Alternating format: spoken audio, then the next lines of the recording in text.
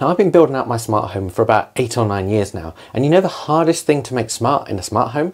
It's the bathroom extractor fan. And this becomes especially true when you want to hook your bathroom light up to a smart bulb but your extractor fan is hooked up to the same wiring.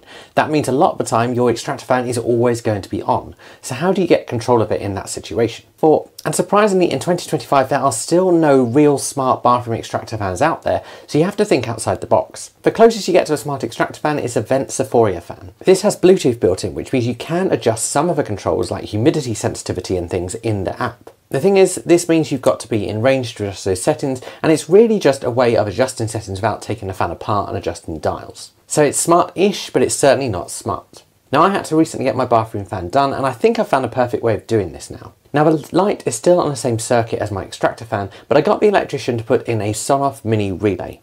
This relay switch is Matter compatible and only costs about £20 and it basically acts as a go-between between the fan and the fan's power, sort of like having an extra light switch. Now this isn't water resistant out of a box so it needed to be concealed but my electrician was very clever and he popped it in the light fitting which is water resistant. That means I now have my bathroom extractor fan in my Apple Home app. This also means I can create some automations with it within Apple Home. So when my bathroom light turns on, the fan can also turn on for about 10 minutes. I also have a SwitchBot outdoor humidity and temperature sensor in my bathroom as well, and I can hook that up to some automations as well. That's thanks to a SwitchBot hub which exposes that temperature and humidity sensor to Matter. That means when humidity in my bathroom reaches a certain level, I can turn on the fan, and when it gets below a certain level, I can turn it off. And that's how you can make the most difficult thing in your house to make smart, the bathroom extractor fan, smart and actually responds to a proper humidity sensor.